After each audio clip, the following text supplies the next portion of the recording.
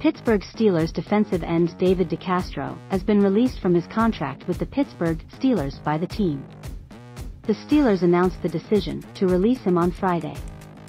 The team also released center Maurkice Pouncey and left tackle Alejandro Villanueva from their contracts with them.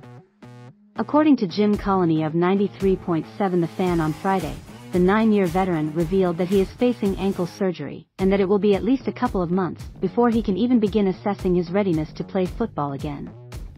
I just gotta get this ankle right, not just for football if I want to play again but just for life to make sure I have mobility and be able to be active when I'm done, he said.